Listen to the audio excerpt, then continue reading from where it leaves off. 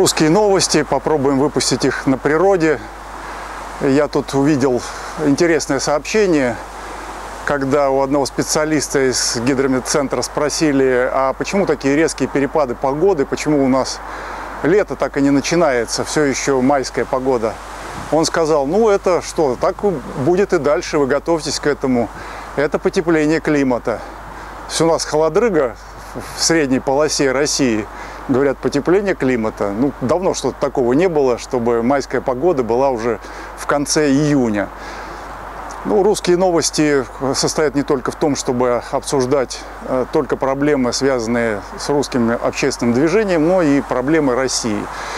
И многое из того, что пишут или представляют зрителям на телевидении, совершенно неприемлемо для восприятия русского человека, и приходится делать отбор хоть какой-то полезной информации. Она в негативном ключе может быть, то есть мы что-то услышали и оценили как э, какую-нибудь мерзость, очередную русофобскую мерзость, чем, в общем-то, и славится путинский режим. Ну, ничего другого он не производит, кроме мерзости. То есть измена, обман, коррупция, воровство, подлости, нарушение закона, конституционных норм и так далее, и так далее. То есть сплошной поток негатива от них идет. Ну, мы и должны расценивать все это со своей, с русской точки зрения. Когда, скажем, возникает инициатива, кто-то там сказал Путину что, или Медведеву, что надо э, гражданскую присягу всех обязать, чтобы все присягали на верность России. Ну, кто нас хочет к присяге приводить? Вот это вот варье, вот эти изменники – ну, конечно, мы не должны в этом участвовать ни в коем случае. Даже если нам напишут закон, вы обязаны. Я заболел, умер, меня просто нет. Для вас меня нет. Какая клятва может быть? Я лично вот просто говорю, что я никакой клятвы режиму Путина, Медведева и всей их, шайки, если они кого-то следующего там поставят, кого-нибудь Шойгу, никогда никакой присяги приносить не буду. Не приносил присяги Российской Федерации, этому обломку России не приносил присяги ельцинскому режиму и не буду приносить присягу режиму мерзавцев, которые захватили власть, самозванцам. Нельзя приносить присягу. Но они-то уже готовы, они своих готовы зарядить, чтобы все, как ура-патриоты, квасные патриоты или там патриоты какого-нибудь пойла, пошли бы и хором все высказали какую-нибудь формулу, а Жириновский уже даже придумал. Не знаю, что он там придумал, читать всю эту глупость, конечно, не надо. Ну, надо заметить, что они хотят нас вот склонить к тому, что мы свою верность России бы распространили на них. Нет, мы России-то верны, только нам для этого не нужны никакие публичные клятвы, в особенности, э, э, если их от нас требуют вот эти негодяи, которые с этой инициативой выступают. В традиции России гражданская клятва, когда там достигал 14 лет любой юноша или девушка, они должны были приносить присягу на верность э, императорской фамилии и в лице этой фамилии, естественно, России. Олицетворением России была власть России. Сейчас власть в России олицетворяет все самое гнилостное, подлое и негодяйское, что существовало в нашей истории. Этим, эти люди не являются лицом России они являются, может быть, каким-то противоположным местом, если проводить вот какие-то такие физиологические аналогии, но к России они никакого отношения не имеют. Это враги России, и им присягать нельзя, в их лице нельзя присягать. Вообще нельзя. Поэтому и в армии служить крайне затруднительно, потому что там требуют присягу. А этой присяге у нас была одна передача, где показано, что эта присяга лживая, ложная. И когда вы ее принимаете, вы сами себе лжете. Ну, под воздействием насилия какого-то, да, вы приходится вам, да, вам говорят, это вы исполняете свой гражданский долг. Да нет, вы ничего не исполняете. Вы исполняете только то, что вам впихнули насильно вашу голову или там ваш образ жизни, и вроде бы вы клянетесь в верности России. Лучше придумайте тогда какую-нибудь свою присягу, и вот после присяги, воинской присяги, которая является обязательной, вы ее перед своими людьми произнесите. Настоящую присягу. Ну, традиционную, например, присягу, как-то ее можно осовременить, и традиционную присягу России принесите. Но только не перед этими мерзавцами, которые вам этот текст подсунули, совершенно бредовый. Ну, так же, как и текст присяги президента, который он не исполняет, являясь тем самым клятвопреступником. Но вы тоже не будьте клятвопреступниками, то есть произнесите ту клятву, которую который действительно соответствует высокому долгу служения России, а не проклятому путинско-ельцинскому режиму. Вот э, сейчас одну, один из разделов я назвал «Лживая дрянь», имея в виду э, секретаря президента или там пресс-секретаря президента Дмитрия Пескова. Вот он объявил, что протестные акции не являются опасными для Кремля, но провокационные действия на несогласованных митингах являются опасными для граждан. На самом деле самым опасным для граждан является существование путинского режима, ложь, которая беспрерывно льется со стороны, в том числе, пресс-службы президента. И весь этот режим, естественно, он является для нас опасным. Мы сами себе никакой опасности э, не представляем и живем, в общем-то, в общем и целом мирно, зная прекрасно, где есть законы божеские, где есть законы человеческие. Далее, вот так высказался Песков. Э, да нет, проведение подобного рода мероприятий в согласованном режиме, как это предписывается законом, ни для кого никакой опасности не представляет. Для них представляет, вот для них, для Пескова, для Путина представляет опасность любые акции, которые не прославляют их, а критически относятся к нынешнему положению России и граждан. Мы это видим прекрасно. Поэтому они не согласовывают нам акции. 12 числа они согласовали акцию Навальному. Но Навальному не нужно никаких выступлений, никаких здравых мыслей. Ему не нужно ничего. Абсолютно безответственный человек. Ему с трибуны говорить не о чем. Только мы здесь власть. Да никакая вы не власть. Просто пришли тут и болтаете непонятно что. Поэтому, ну зачем митинг? Надо какие-нибудь беспорядки организовать. Но это же и Кремлю нужно. Организуйте, пожалуйста, беспорядки, которые нужны именно для того, чтобы Путин снова стал Путиным. Вот если Путин не получает президентских полномочий через год, то он вообще никто. И, и до этого потом окажется, что и до этого он был никем, просто пустышкой, самозванцем. Как только это произойдет, всем все это сразу станет ясно, все это вылезет наружу. А им нужно, чтобы были какие-нибудь бунты. Ну вот Навальный для этого очень подходит. А Песков просто лживая дрянь, которая говорит, никакой опасности не представляет. А что же вы тогда все время запрещаете митинги национал-патриотов? Нет, мы для вас представляем опасность, и мы это не скрываем. Да, мы ваш самый страшный сон. Если национал-патриоты придут к власти, вам мало не покажется. Именно поэтому вы все время лжете и все время обманываете и говорите, а мы не можем вам согласовать акцию, потому что на этом месте уже все занято. Приходим на это место, ничего не занято, ни одной души нет, никого, ни полиции, ни людей, ничего. Нам просто не согласовали. И только высылают э, отряды ОМОН, ну, прежде ОМОНа, теперь Росгвардии, которые где-нибудь из-за угла смотрят, а соберутся они или нет. Ну, если соберутся, ну это же подарок, мы всех похватаем, за решетку посадим, вечером отпустим. Ну, нет за что задерживать, ну просто задержим э, за то, что вот мы так захотели, потому что начальство сказало не допустить, ну мы не допускаем. Все это, конечно, беззаконие. Об этом беззаконии Песков, негодяй и лживая дрянь прекрасно знает и наводит тень на плетень. Ну, посмотрите на его лицо, лицо какого-то вурдалака. У него уже на лице написано, что он лживая дрянь. Э, опасными являются провокационные проявления. Э, да, это действительно опасно. Это несет опасность окружающим людям. Вы несете опасность окружающим людям. Главная опасность во всех политических мероприятиях на улице – это полиция. Ну и, естественно, те, кто дает полиции задания. Граждане обычно организуются так, что никакой опасности ни для кого они не представляют. А вы организуете эту опасность, вы создаете напряжение, вы возбуждаете ненависть к самим себе и ко всему этому политическому режиму. Ну, действительно, мы вас ненавидим. Ненавидим вас, как лживых дряней, которые вообще никогда не говорят правду. А если и говорят, только чтобы солгать в следующей, в следующей своей фразе. А, также Песков подчеркнул, что правоохранительные органы сделали все для обеспечения правопорядка в ходе провокационных акций в российских городах в том числе в Москве. Они сделали все, чтобы как можно больше нагадить нашей стране и нашему народу. Ну, в содружестве с Навальным, конечно. Они действуют заодно вместе. В нескольких городах, как вы знаете, в том числе в Москве, к сожалению, все э, случились провокации, как и предупреждали городские власти. Городские не, власти не предупреждали, а организовали. Я назову конкретные фамилии. Это зам, ну, сначала, во-первых, мэр Собянин, конечно, провокатор, негодяй и самозванец. Во-вторых, назначенный им заместитель мэра Горбенко, на которого всегда ссылаются те, кто присылают нам отказ в согласовании в наших мероприятиях. Следующий господин Черников, который возглавляет Департамент региональной безопасности, очередной чекист, который ненавидит нашу страну, граждан и гражданские права. Поэтому э, он и возглавляет этот департамент именно такого негодяя и нашли, ну, взамен предыдущего по фамилии Майоров. И подписывает э, все эти подлые бумажки э, господин Олейник. Он прекрасно знает, что законодательство требует предоставления других мест, если какое-то место занято или по каким-то причинам его невозможно предоставить. Ну, Собянин перерыл всю Москву, Э, где-то, мы же не, не, все, не везде знаем, где перерыто. Ну, просим такое место. Другое должны предоставить. Никогда этого не делается. Вот. И этот э, господин Олейник постоянно совершает преступления против государственного порядка управления, против ключевых основополагающих общественно-политических прав граждан. Все эти перечисленные лица, на мой взгляд, должны быть немедленно арестованы. Это не происходит только потому, что правоохранительные органы у нас возглавляют ровно такие же, такие же негодяи.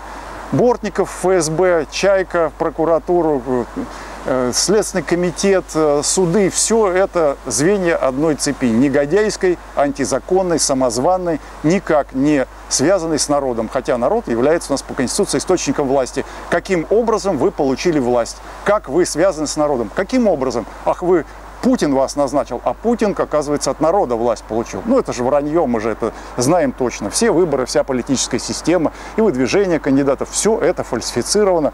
И об этом мы не раз говорили. Вся система подлежит кардинальной перестройке, восстановлению связи между государственными органами и народом. И только тогда мы сможем сказать, что да, это Россия, это государство, которое имеет право называться Россией. А сейчас просто группировка самозванцев, которая издевается над нашей страной и организует геноцид геноцид русского народа. Вот целое гнездо лживых дряней. Военно-следственное управление ВСУ э, Следственного комитета завершило расследование основного дела в отношении к главы Департамента имущественных отношений Министерства обороны Евгении Васильевой. Более того, она уже ознакомилась с материалами расследования. В мае 2015 года Евгении Васильевой был вынесен приговор по так называемым выделенным материалам, включающим 12 эпизодов преступной деятельности. Основное дело, объединяющее более 40 эпизодов хищения активов Министерства обороны, э, экс-руководства вот этого ДИО, Департамента имущественных отношений, осталось в производстве Главного военного следственного управления Следственного комитета. Расследование этого большого дела после долгой работы было завершено. Васильева еще три недели назад закончила знакомиться с материалами. Э, воровка и преступница, э, нанесшая тяжелейший урон э, нашей обороне и безопасности, свободно свободно. Люди, которые защищают нашу безопасность, как безопасность от измены чиновников и от внешних врагов, напротив, сажаются в тюрьму или увольняются со службы. Это общее правило, это не случайности какие-то, это общее правило, которое распространено везде и всюду. Ну, поэтому большая работа предстоит после русской национальной революции в кадровой политике, в иллюстрации, в выяснении преступной деятельности всех этих людей. Э, дальше обвинительное заключение должно уйти на утверждение в прокуратуру, а оттуда в суд. Однако этого не происходит. А, по независящим от правоохранительных органов причинам. А какие это такие причины вот в сообщениях, независящие от правоохранительных органов? Э, этот процесс отложен на неопределенный срок, на неопределенный период. Кто это смог сделать? Я могу сказать. Из Кремля позвонили и сказали, дело заморозить. И вместо того, чтобы действовать по закону, а по этому звонку просто послать на все буквы русского алфавита, они берут под козырек. Они подчиняются не закону, а только приказу. В мае 2015 года Васильева была приговорена к пяти годам заключения, но в колонии провела всего 34 дня. Весело так.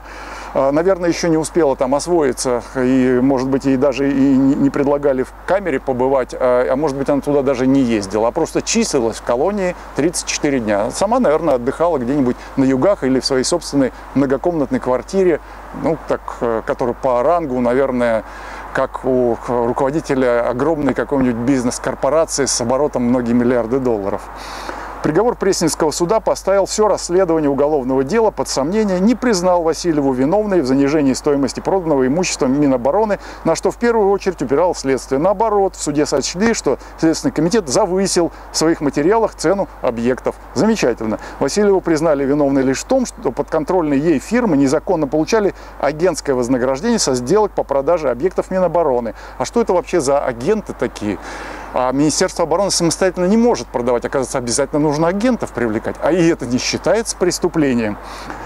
И вот в отмывании денег этими, этими агентами, ну, то есть здесь прямо на, собирала на несколько лет, даже в этом случае, на несколько лет тюремного заключения или нахождения в колонии, желательно строгого режима среди уголовников, среди убийц.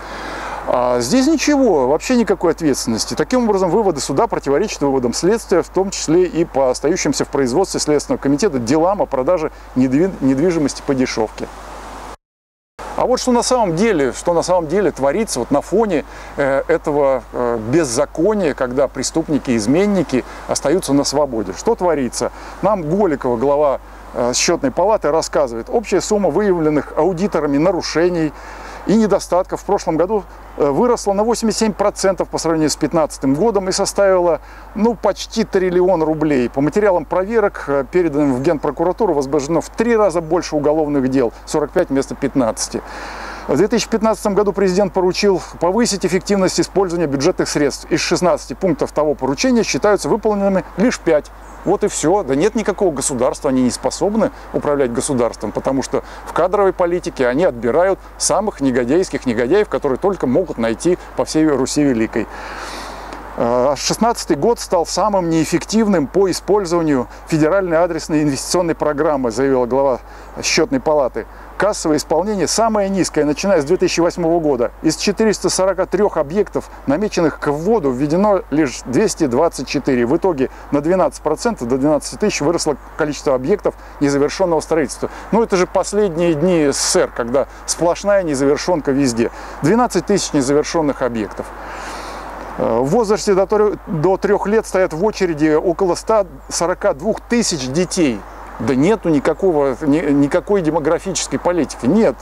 Э, может быть, э, ну, петиции писать тоже бесполезно. Эти тупицы же ни на что не способны. Они думают, что мы все такие вот сладкие и готовы покориться любой власти, вот даже такой поганой, как путинская. В 2016 году на 1300 штук сократилось количество детсадов имеющих все виды благоустройства, э, то есть имеющие просто теплый туалет, воду и отопление. Почти две трети в них на селе. Полная катастрофа на селе.